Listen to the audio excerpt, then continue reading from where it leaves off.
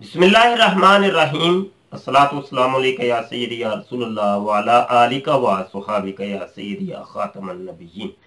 मोहतरम दोस्तों, आज हम बात कर रहे हैं मिर्ज़ा गुलाम कादियानी की पैदाइश के वक्त। उसका सर कहाँ था? उसकी पैदाइश कैसे हुई? वो हम पहले ज़िक्र कर चुके हैं अपनी पहली वीडियो के अंदर। अब ये दूसरी वीडियो है इसी सिलसिले के अंदर। ये मेरे सामने किताब है, तरियाकुल कुलूब। इसका सफ़ा नंबर 355 है। ये ओल्ड एडिशन की बात कर रहा हूँ।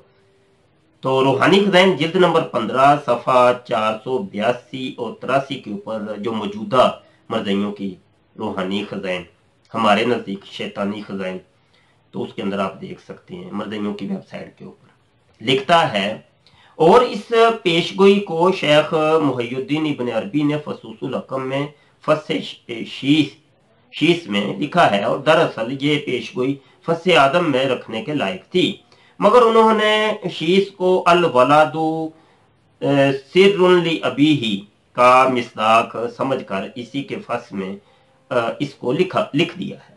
हम मुनासब देखते हैं कि इस जगह शेख की असल इबारत नकल कर दें, और वो ये है। ये आगे अरबी इबारत लिखी है। उसका आगे तर्जुमा वो करता है। यानी कामिल इंसानों में से आखिरी कामिल एक लड़का होगा जो असल मूलद इसका चीन होगा। ये इस बात की तरफ़ इशारा है कि वो कौम मुगल और तुर्क में से होगा और ज़रूरी है कि अजम में से होगा, ना अरब में से, और उसके वो अलूम और असरार दिए जाएँगे कि वो शीश को दिए गए थे।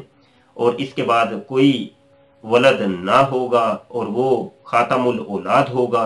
यानी इसकी वफात के बाद कोई कामिल बच्चा पैदा नहीं होगा। और इसके, इस फिक्रा के ये भी माना है कि वो अपने बाप का आखिरी फर्जंद होगा और उसके साथ एक लड़की पैदा होगी जो उससे पहले निकलेगी और वो उसके बाद निकलेगा। इसका सर इसके दुख्तर के पैरों से मिला हुआ होगा, यानी दुख्तर मामूली तरीक से पैदा होगी कि पहले सर निकलेगा और फिर पैर और इसके पैरों के बाद बिला तवकुफ इस पिसर का सर निकलेगा। जैसा कि मेरी वलादत और मेरी तवान हमशीरा के इस तरह जहूर में आई। इसके हिस्सा अव्वल वीडियो के हिस्सा के अंदर भी हम कुछ अर्ज़ कर चुके थे पैदाइश के हवाले से कि उसमें मिर्ज़ा काजी नहीं कहता है, मैं तुआम पैदा हुआ हूँ कि अपनी माँ की शर्मगाह से मैं निकला हूँ। पहले मेरी बहन जन्नत निकली थी, उसके बाद मैं निकला। ये कहानी क्या है। इसने असल में फसूसुल हकम जो कि अलामा शेख शेख अकबर इब्न अरबी रहमत की किताब है, वहाँ पर एक इसने हकायत पढ़ी। कि शेख अकबर फरमाते हैं कि जब कायनात की इंतहा होगी, यानी क्यामत का दिन होगा यूँ समझ लें तो उससे पहले तो उससे पहले जो इंसान पैदा होगा, वो आखिरी इंसान होगा। इस कायनात का, इस दुनिया का आखिरी इंसान। उसकी पैदाइश के बारे में वो अपना एक कश्फ बयान कर रहे हैं कि मुझे वो ऐसे महसूस हुआ है कि ऐसे होगा। तो वो कहते हैं कि वो आखिरी इंसान जो होगा, वो तमाम पैदा होगा, ठीक है? तो उसको मिर्ज़ा गुलाम कादियानी ने अपने ऊपर चिस्पा करी और ये सिर्फ़ से झूठ है झूठ है, ऐसा हुआ नहीं। मिर्ज़ा गुलाम कादियानी ने ये सिर्फ़ मिर्जे का तरीका ही ये था कि वो पढ़ता था किसी जगह पे, कोई किसी सूफी की किताब के अंदर से कोई चीज़ मिल गई या गिरी पड़ी, कोई दलील मिल गई या जनाब को कुरान की कोई आयत मिल गई या हदीस मिल गई, उसको, उसका मिस्ताक अपने आप को ठहराता था और वो ढाल लेता था। जैसे गिरगिट नहीं होता कि वो जिस कलर की वो टहनी के ऊपर चढ़ता है तो वो वो रंग इख्तियार कर लेता है। मिर्ज़ा गुलाम कादियानी मिर्ज़ा सीनियर का यही तरीका बहादुर था कि वो किसी तरीके से वो, चाहे वो कोई ज़यीफ चीज़, झूठी चीज़, चाहे जैसी तैसी भी हो, मिर्जे ने नहीं देखना होता था कि ये क्या है, उसको उसको अपने ऊपर वो चश्मा करता था। यहाँ पर भी मिर्ज़ा गुलाम कादियानी ने जो अरबी इबादत है वो अरबी भारत कुछ और है लेकिन तर्जुमा मिर्ज़ा गुलाम कादियानी ने कुछ और कर दिया है और यहाँ पे झूठ बोला है। और जो तर्जुमा किया भी है उसके अंदर वो वादे तौर पे कहता है कि उसका जो मूलत होगा वो जहाँ पे पैदा होगा वो क्या होगा? ए, वो चीन होगा।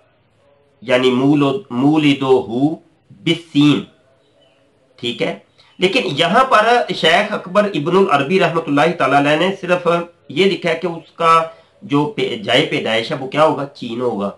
लेकिन मिर्ज़ा कादियानी क्या कहता है? वो कहता है, चीन से मुरादिया वो मुगल होंगे, वो मिर्जे होंगे, मरजई होगा, मरजई फैमिली से वो ताल्लुक रखेगा। तो ये मिर्ज़ा गुलाम कादी ने झूठ बोला, दजल किया, फ्रॉड किया।